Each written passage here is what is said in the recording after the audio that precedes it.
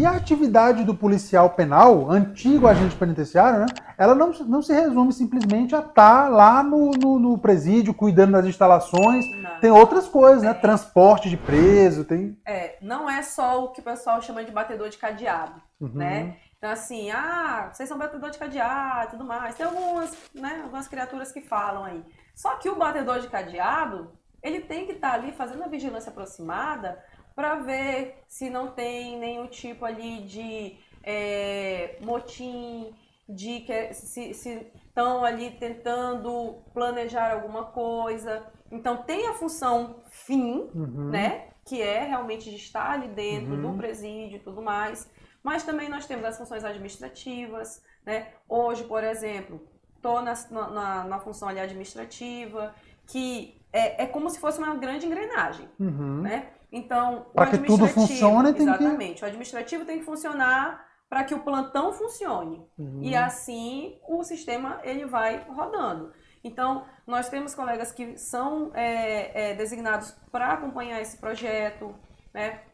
Tem ali o grupo de escolta, que é o JET, né? Então, esse grupo de escolta, ele faz a escolta de todas as unidades uhum. quando é necessário.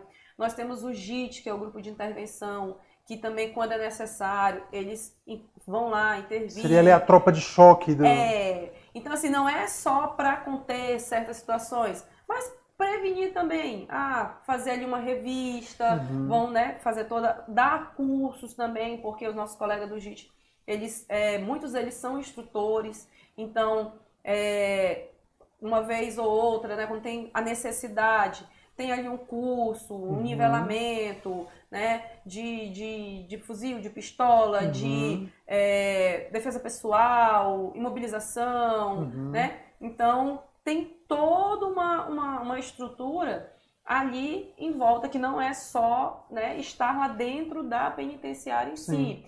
É, nós temos a parte da ressocialização, que o Renascer é um dos maiores né, projetos nesse sentido. Tem o Costurando Recomeços, uhum. né? tem a parte ali da, do CPP, que é o Centro de, de Progressão de Pena, que é, a, os, os reeducandos, eles que estão no semiaberto, eles saem para trabalhar uhum. e no final do dia voltam para lá, né, para cumprir o pernoite. Então, tem toda uma situação, são várias atividades. Entendi. E, é, ah, dá para implementar mais? Dá. Precisa né? de efetivo, né? Só precisa também do efetivo, né? E, consequentemente, tendo efetivo ali, a gente vai conseguir implantar outras situações. Ah, precisamos, como às vezes também é feito, no nosso curso de formação, é, a escola que foi revitalizada, foi revitalizada pelo uh, uh, pelos reeducandos, uhum. né? Com verba do Renascer. Então, assim, é o próprio sistema